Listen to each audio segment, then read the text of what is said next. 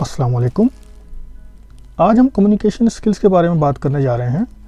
आज हम आपसे ऐसी टेक्निक्स शेयर करेंगे जिसको यूज़ करके आप अपनी कम्युनिकेशन स्किल्स को इम्प्रूव कर सकते हैं, या जिनको कम्युनिकेट करने में बहुत मुश्किल पैदा होती है, वो इन टेक्निक को यूज़ करके सामने वाले के सामने एक अपना अच्छा इंप्रेशन छोड़ सकते हैं। आप या आपके इर्द गिर्द काफ़ी लोग ऐसे मिल जाएँगे जो बहुत कम गो होते हैं। कुछ तो कुदरती तौर पर कम गो होते हैं और कुछ इसलिए कम गोई का शिकार होते हैं कि वो गुफ्तु करना तो चाहते हैं, मगर बात कर नहीं पाते। खुद एतमादी नहीं होती, कुछ लोग ग्रुप में बात नहीं कर पाते और कुछ तो वन टू वन भी बात करने में हिचकिचाहट महसूस करते हैं। अक्सर तो बात शुरू कर ही नहीं पाते और बात शुरू हो भी जाए तो जारी नहीं रख पाते। और आजकल तो कम्युनिकेशन स्किल इतनी इंपॉर्टेंट हो गई हैं कि अगर आपकी आपके पास कम्युनिकेट करने की सलाहियत मौजूद है तो आप तो इससे आजकल पैसे भी कमा सकते हैं। अगर आपको कम्युनिकेट करने का हुनर आता है तो आप किसी पर भी एक अच्छा तासुर छोड़ सकते हैं। और ऐसे लोगों को लोग पसंद भी करते हैं। और लोग याद भी रखते हैं ऐसे लोगों को। बोलेंगे, उस पार्टी में हमें एक बंदा मिला था, या उस तकरीब में हमें बंदा मिला था, उससे हमने बात की थी उससे बात करने में बड़ा मज़ा आया। तो आप भी ये कम्युनिकेशन स्किल्स को इम्प्रूव करके, या टेक्निक यूज़ करके आप भी एक लाइकेबल पर्सन बन सकते हैं। तो आइए चलते हैं कि आप ऐसा क्या करें कि आप लोगों के साथ अच्छे तरीके से कम्युनिकेट कर सकें। आगे बढ़ने से पहले आपसे रिक्वेस्ट है कि प्लीज़ चैनल को सब्सक्राइब कर लें। सबसे पहले तो सामने वाले के लिए एक आप अच्छा सा कमेंट कर दें। जैसा कि आप बोल सकते हैं कि आपकी शर्ट तो बड़ी अच्छी लग रही है। आपके बाल बड़े अच्छे लग रहे हैं। या आपने परफ्यूम बड़ी अच्छी लगाई हुई है। इससे वो एकदम खुश हो जाएगा और इम्प्रेशन भी अच्छा पड़ता है। मगर एक बात का ख्याल रखना है कि कोई झूठा कॉम्प्लीमेंट न दें आप, जो आपको कुछ चीज़ नज़र आए, कुछ ना कुछ आपको ऐसी बात नज़र आएगी कि जिसको आप यूज़ करके, उसकी तारीफ़ करके, उस, उसकी अटेंशन आप अपनी तरफ़ कर सकते हैं। दूसरा, जब आपको कोई इंट्रोड्यूस करवाएगा सामने वाले से, या आप खुद इंट्रोड्यूस करवाएँगे तो एक दूसरे का नाम एक्सचेंज होगा। तो सामने वाले का आप नाम याद रखें। याद रखें कि किसी भी इंसान के लिए उसका नाम सबसे ज़्यादा खूबसूरत लफ्ज़ होता है। तो गुफ्तु के दरमियान आप उसका नाम बार बार यूज़ करें। इससे आप यू नोट करिएगा कि आप, अगर आपका भी कोई आपका नाम लेकर गुफ्तु करता है, बार बार आपकी गुफ्तु के अंदर आपका नाम लेता है, आपको वो बड़ा अच्छा लगेगा। फिर एक और रूल है थर्टी सेवेंटी का रूल मतलब हम कम बोलें, दूसरे को ज़्यादा बोलने दें। मतलब थर्टी परसेंट आप बोलें सेवेंटी परसेंट दूसरे को बोलने दें।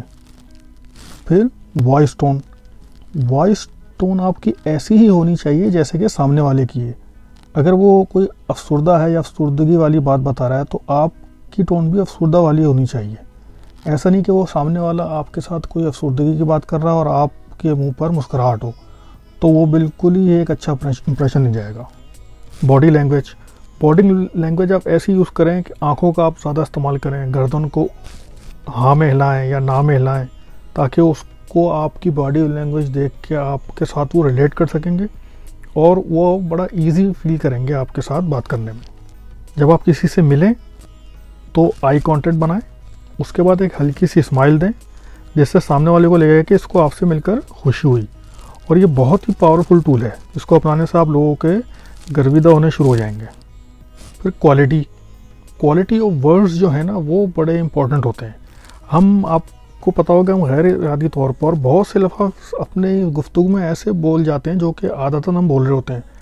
जैसा कि उस्ताद बाबे बिडू यू नो इन जैसे अल्फाज से अपने गुफ्तु को निकाल दें।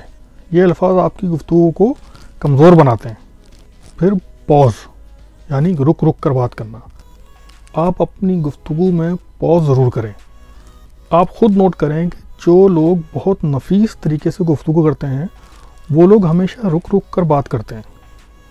और आखिरी में जिस टेक्निक का हम इस्तेमाल करेंगे, वो है कॉन्वर्सेशन थ्रेडिंग अगर ये टेक्निक आपने अपना ली तो आपके पास बातों की कभी कमी नहीं रहेगी। इस टेक्निक में आपने क्या करना है कि जो कुछ सामने वाला कह रहा है तो आपने उसको बड़ी गौर से सुनना है।